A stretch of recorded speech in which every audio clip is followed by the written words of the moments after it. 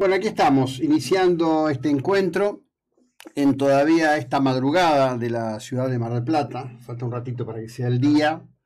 Ayer tuvimos una jornada muy peculiar con la niebla como gran actor climático durante toda la jornada. Tuvimos algo de chaparrones en la madrugada. Por ahora está todo o luce todo como muy tranquilo en este sentido.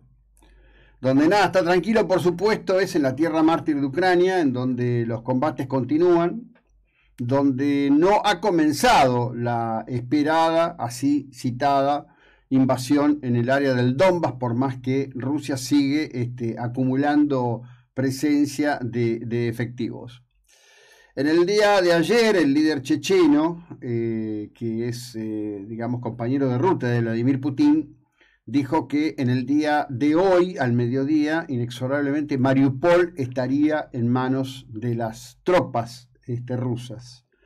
No parece ser así porque se conoció hace minutos nada más. Es probable que ustedes recorriendo títulos de diversos medios en el ámbito digital se encuentren con un título grande que dice que Mariupol ha caído. Bueno, lo concreto es que eh, Vladimir Putin ordenó detener las acciones este, en torno a la acería de Azotop. Allí se estima que hay, algunos hablan de 2.000, otros hablan de 10.000 personas. Lo cierto es que el lugar está preparado y concebido para resistir este, un ataque atómico.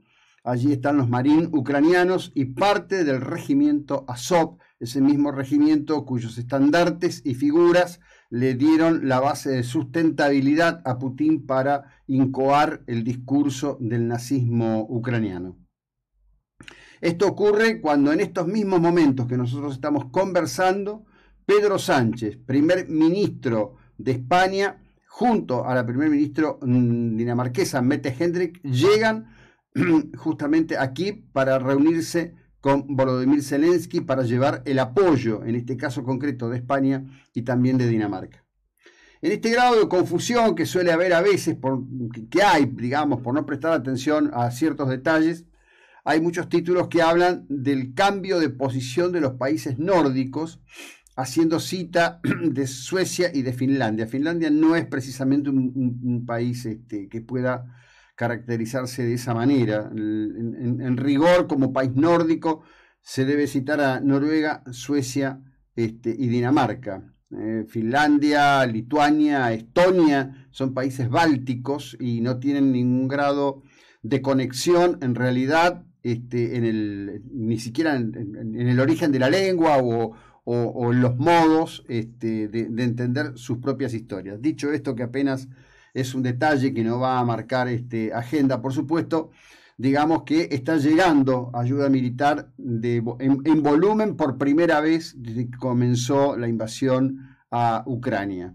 El gobierno norteamericano ha informado que hay literalmente una suerte de corredor de aviones este, de, carga con equipo militar realmente este, verdaderamente muy importante que debería dar, entre otras cuestiones, pie para, digamos, un, esfuerzo de guerra en muchas mejores condiciones que las que han operado hasta ahora con gran éxito, por supuesto, este, las tropas este, ucranianas.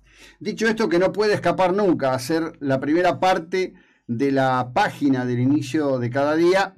Digamos que ayer la Argentina vivió lamentablemente otro vodevil espantoso, impulsado por Cristina Elizabeth Fernández, en el, esquema o la idea de relatar o expresar un poder que efectivamente no tiene. La primera cuestión que ocurrió es esta ficción de decir, bueno, acá resulta ser que este no es el bloque del Frente de Todos, sino que acá hay dos bloques, hay un bloque que lidera el senador Mayans, pero hay otro bloque este, que representa Unidad Ciudadana. Se hace este, designar en esa argucia a un dirigente de la, de, la provincia de, de, Río Negro, con, la idea de decir, bueno, este es nuestro delegado, por supuesto ayer la Corte Suprema no le tomó este juramento. Por otro lado, eh, Sergio Massa, Ventajita Massa, dice, bueno, no, yo voy a cumplir, voy a designar a Roxana Reyes por este, la... Por, Juntos por el Cambio, que en realidad este, ella es de Juntos por el Cambio, pero viene o es parte de la Unión Cívica Radical. ¿Y qué hizo este, la Corte? Bueno, tampoco le tomó este juramento. ¿Por qué? Porque los dos casos están judicializados. También es una posición en donde queda muy, muy en entredicho este, Luis Juez. Luis es un hombre que es muy apreciado en líneas generales por las audiencias, por su jocundia, su capacidad permanente de inventar figuras este, que, llaman a risa, pero en rigor, con respecto a Luis Juez, hay todo un tema. ¿Cuál es el tema? Luis es un hombre que fue un fuerte aliado de Néstor Kirchner. Él mismo dice, yo este, fui aliado de Kirchner, yo este, me llevé muy bien con él en la primera etapa. Después vino un momento en donde Kirchner vino, me llamó, me dijo que para hacer cierta obra pública había que arreglar con determinadas empresas y yo le dije, no, loco, no digo esto en los términos que usa habitualmente juez. Y después ha participado, ha tenido, digamos, alzas y bajas dentro de la puja de la, de la política de Córdoba. El, último tramo, que a nosotros acá, desde acá, nos queda muy lejos, aunque parezca mentira, a, los 1.200 kilómetros que nos separan de Córdoba, pero digo en la entidad política de la cuestión, bueno, es que juez tuvo un, enfrentamiento bastante fuerte, un enfrentamiento con, Mario Negri, es decir, es una figura muy popular, muy popular en Córdoba, muy popular a nivel país, por sus peculiaridades de jocundia en el modo de expresarse, pero que siempre genera este, tironeos. ¿Qué podían hacer ayer? Bueno, hay algún corre dile, algún tontín de turno que dice, no, Cristina los durmió a todos, como si esto fuera una canchereada, ¿viste? Como si, no sé, como si fuera una jugada pícara. En definitiva, bueno, son los admiradores del, criterio de la mano de Dios, ¿no? Eh, le hizo el gol con la mano, dice, pero resulta que el referee no lo vio. Justo el bar estaba apagado y Cristina, este, mira vos, metió un gol por izquierda.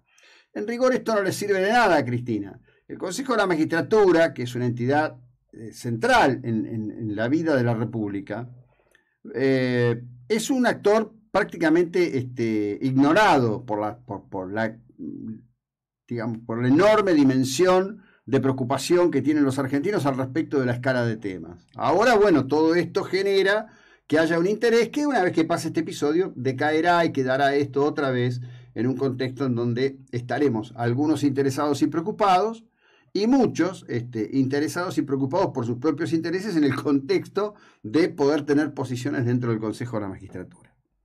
Lo concreto es esto. La Corte se pronunció después de un tiempo demasiado extenso, este es un tema para discutir también los famosos tiempos de la Corte, resolvió que esa ley que había impulsado el, el kirchnerismo en donde cambiaba la composición de la ley original, era inconstitucional y por lo tanto ordenó volver a esta, diciendo que tenían 120 días para dictar una nueva ley. Obviamente no lo hicieron. ¿Por qué no lo hicieron? Por varias razones. Primero porque quisieron jugar al hecho consumado. Cristina dijo, jugamos en, en el último minuto, imponemos en el Senado una ley en las condiciones que nosotros queremos y después vemos cómo negociamos en la Cámara Baja. Cuando llegó el momento, nada salió como, como esperaban, esto es una derrota este, importante que demuestra en paralelo lo que es la derrota política, esa derrota política que se le infligieron los argentinos con el voto en las pasadas elecciones legislativas. Y que va a ser más impactante aún en el próximo turno. En paralelo con esto empiezan a pasar o parecer otras cosas. Está ausente, realmente ausente. Yo recién en, en Twitter dije que estoy dispuesto a regalar un libro de instrucción cívica al que lo encuentra Javier Milei. Javier Milei, ni bien comenzó este episodio, desapareció de escena. ¿no? Veníamos en un periodo donde había Milei a la mañana, Milei al mediodía, Milei a la tarde, Milei a la noche, Milei en la trasnoche, Milei en la madrugada, de vuelta Milei. Ah, no Milei. Milei no está, no está. Yo recién ilustré en un tuit de esto y hay un señor que me, me dice que dice, sos tan macrista que das asco, se lo agradecí. Digo, este, a ver, tratemos de entendernos. Milei es Ayer lo definió muy bien, pero muy bien. Estoy muy sorprendido con el, Lustó de esta etapa. Lo definió muy bien Martín Lustó ayer. Dijo, es un populista de derecha. No hay ninguna diferencia. Son todos eslogan vacíos de contenido que no llevan absolutamente a ninguna parte. ¿no? Cuando se pone como si fuera serio y dice, no, porque vos tenés que entender que yo soy minimarquista. Pero explícamelo, campeón. Deja de usar, de hacerte el intelectual, digamos, este, explícate. No existe país en el planeta que no tenga banco central, por decirlo de algún modo, para que se entienda claro. La República Popular China, que mantiene en este momento confinada contra su voluntad a 26 millones de habitantes en Shanghái, que lleva adelante tropelías de, autoritarismo y de poder, tiene banco central. Vietnam, que se construyó a través de guerras que duraron prácticamente una centuria, que derrotó a, los franceses, que derrotó a los estadounidenses, que logró a un coste de sangre alucinante construir su propia identidad, en este caso por haber triunfado desde la visión del comunismo, pero que hoy es una nación de un capitalismo salvaje, como es un capitalismo salvaje el de China, bueno, este, tiene Banco Central. No existe nación organizada y ordenada que no tenga Banco Central.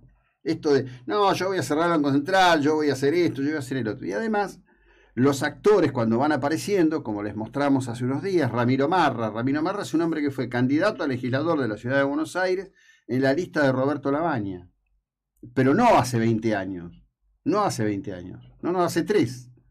Entonces hoy aparece presentándose como si fuera liberal. ¿Qué, digamos, ¿De qué estamos hablando? ¿No? Bueno, toda una construcción que es una enorme, inmensa, gran mentira, hoy puesta en entredicho con algo de carácter concreto. Porque varias veces en, en las últimas apariciones, eh, ha dicho, yo estoy de acuerdo con todo lo que sea moral, la moral es mi límite. Bueno, debería expresarse sobre la moralidad o inmoralidad de las acciones de Cristina. Pero el tipo no dice una palabra. Ayer en Twitter algunos de sus defensores decían, no, porque un día dijo, no, no, estamos hablando de hoy, ahora, tiempo presente, jugamos ahora. Partidos ahora, la pelota está ahora en la cancha. ¿Dónde está mi ley? No está mi ley. ¿Dónde están las expresiones de mi ley? No hay expresiones de mi ley. Digo, esto es importante porque lo que nos jugamos de acá a la elección de 2023 es el presente para construir el futuro. Eh, perderse en diletancias le va a hacer un enorme, inmenso daño a la Argentina que ya demasiado dolorida y dañada está. Por otro lado, la acción de Cristina, ¿qué ha hecho? Bueno, ha hiperpromovido la movida del día 23, campo más ciudad, con mucha gente este, planteando y convocando justamente para ese momento. Quiero cerrar este bloque, te pasé dos imágenes ahí de, un libro. El libro es Abajo el Heroi, este, me lo regalaron ayer Amparo y, y Bárbara, de la editorial que Bárbara y su esposo tienen en Sevilla y además de que es un cuento para chicos, Abajo el Héroe, que es, interesantísimo, ¿no? Como, como, construcción de pensamiento de, ciudadanía, tiene algo que me encantó y me maravilló, porque la editorial Tres Tistes Tigres dice Sevilla Mar del Plata. Te puedo decir, pero en verdad en tu corazón nunca te fuiste. Seguimos en un instante.